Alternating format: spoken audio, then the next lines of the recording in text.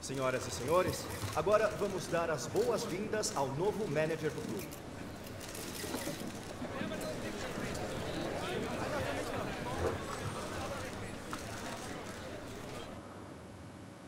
Und damit herzlich willkommen hier zu einer neuen Karriere auf meinem Kanal. Heute starten wir die Karriere hier in FIFA 22 mit dem Mod vom Slim Ontario.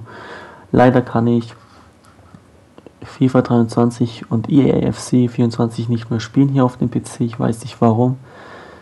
Aber entweder dauert es ewig oder das Spiel lädt nicht herunter. Deswegen sind wir hier auf dem PC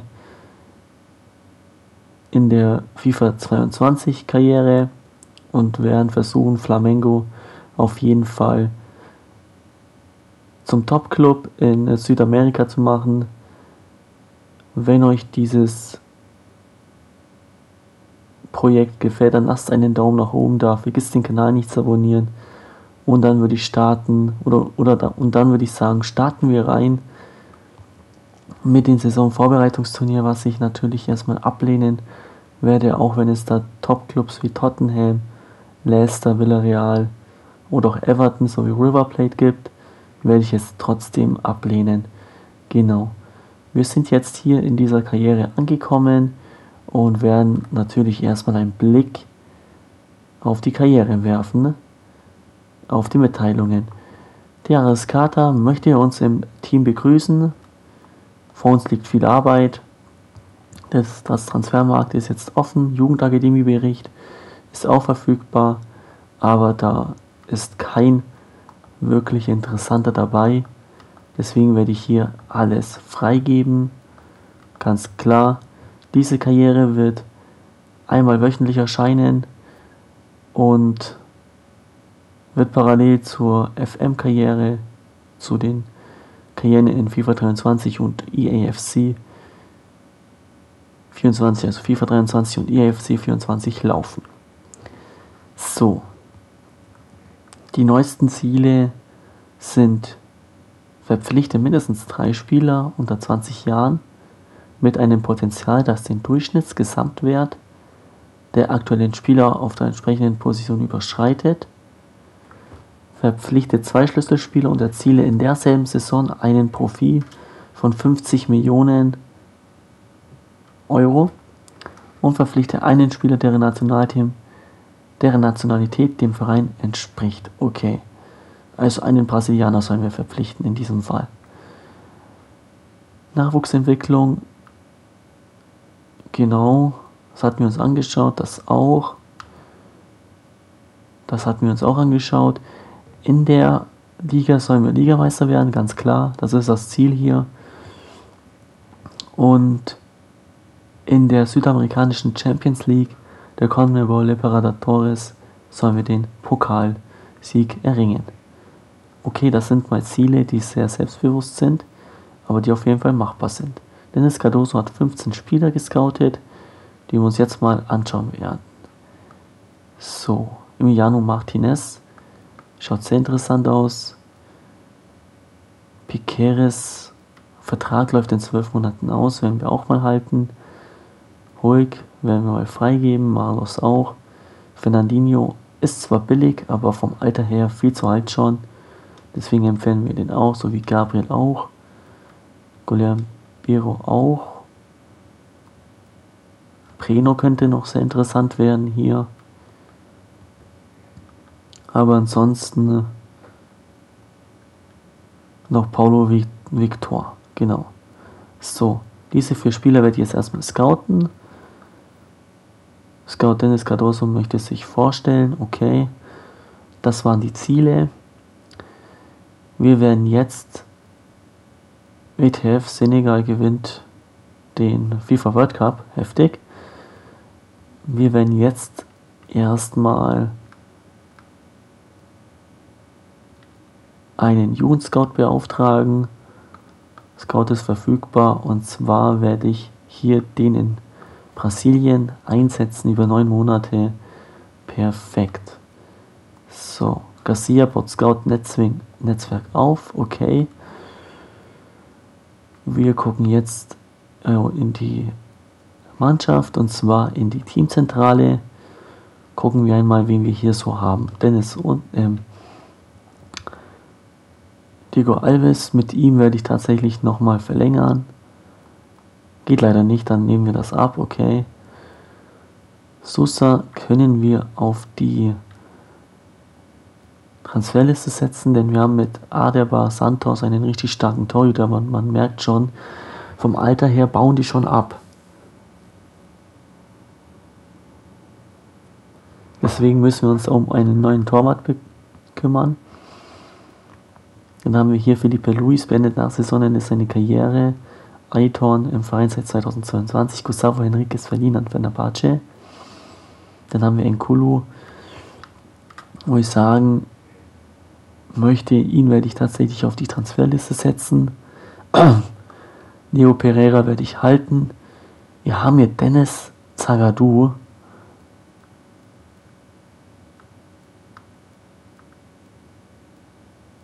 Wir haben ja einfach den Axel Zagadou. Den werde ich auf jeden Fall behalten. Santos ist verliehen an uns. Tula ist verliehen an uns.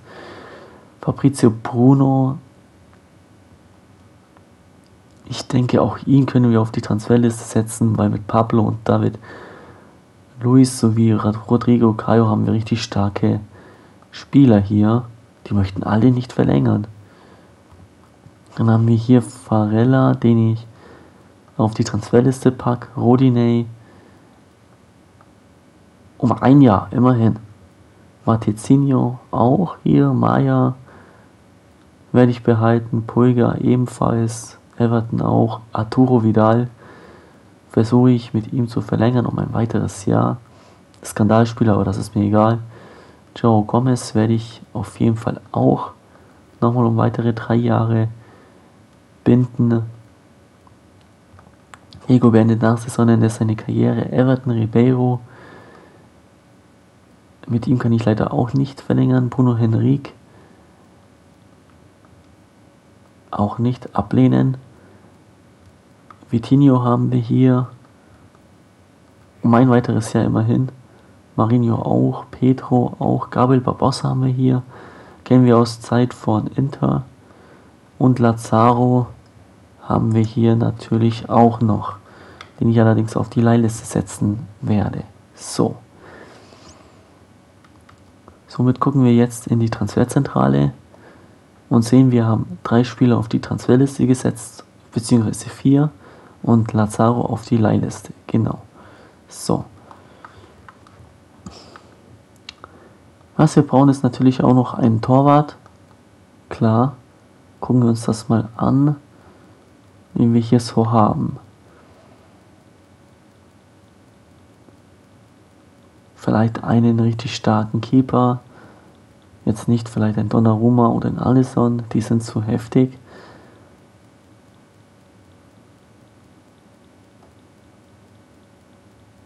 Wie wäre es, wenn wir in die Türkei gehen? Schauen wir uns mal aus der Super League ein paar Keeper an.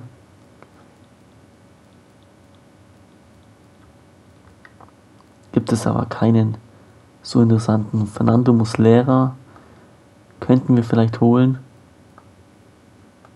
Hat, hat eine Gesamtbewertung von 880 und einen Wert von 800.000, okay. Aber ansonsten war es das.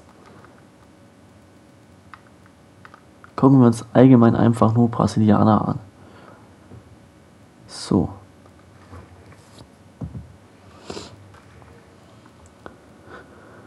Wen haben wir so? Vielleicht einen jungen Torhüter. Jedes nicht, das ist zu unrealistisch. Fabio, 42 Jahre alt, niemals werde ich ihn holen.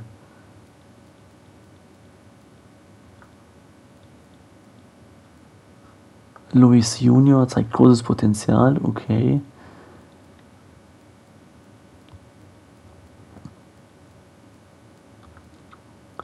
Matthäus Mendes zeigt auch, beziehungsweise läuft der Vertrag aus, ist 23 Jahre alt, warum nicht? Roberto Neto wäre natürlich interessant.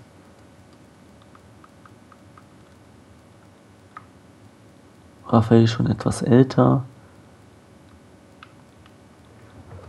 Aber dann war es das auch schon, was dies betrifft. Sorry. Jetzt gucken wir natürlich auch mal in die Defensive. Linksverteidiger brauchen wir natürlich auch einen richtig guten Mann. Kein Alexandro Bernardo wäre sehr interessant.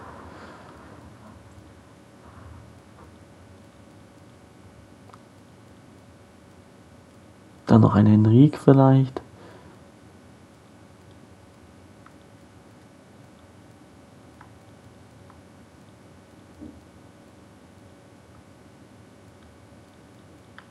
Ein Ramon.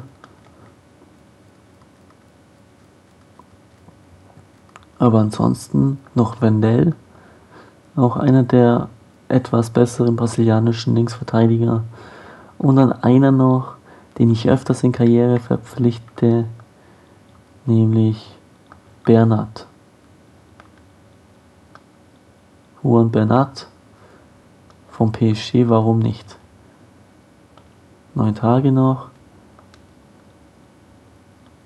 Wie wär's, wenn wir es versuchen, ne? Neymar zu verpflichten, ne? Probieren wir das. Einer der besten der Welt. Wie viel haben wir zur Verfügung? 142 Millionen, okay. Probieren wir es einfach mal, würde ich sagen.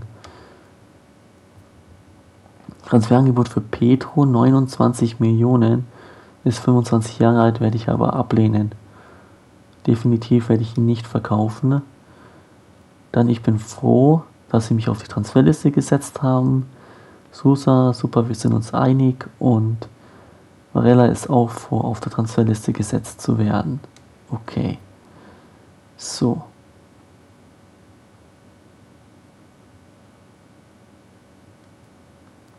Genau, über, nee, anhalten und die Trainingstage werde ich überspringen. So. Transferangebot für Aiton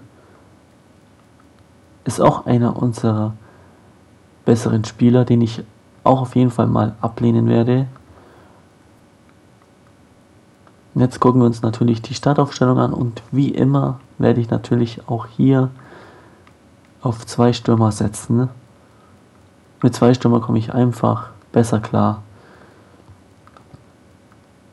Nämlich mit Petro und Barbossa. Hier werde ich Diego hinsetzen, Vidal, Everton Ribeiro, dann äh, Matoizinho, Rodrigo Caio und David Luiz. Beziehungsweise Zagadou wäre auch noch eine ideale Lösung. Und links Felipe Luis. Im Tor Diego Alves. Okay. So. Gucken wir uns mal die Transferzentrale an. Torhüter technisch haben wir vier hier. Dann Linksverteidiger 6 genau, Neymar könnten wir tatsächlich verpflichten. Ne? Mal gucken. So, Transferangebot für Nkulo, das ist richtig gut von FC Turin, werde ich natürlich annehmen.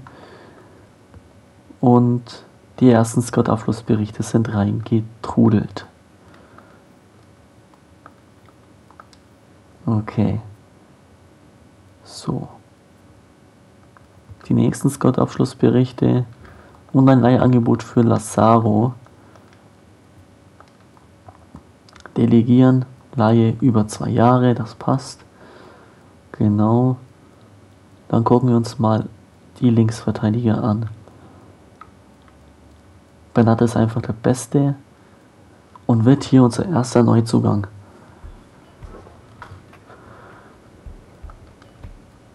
Neunzehn Millionen, ich biete mal 18 Mille.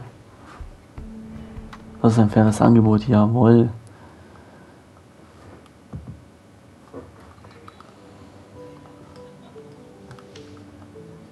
Und nach diesem Deal werde ich dann die Folge beenden. Rolle im Kader ist wichtig. Über vier Jahre. Ne, er möchte zwei Jahre. Dann machen wir drei Jahre daraus.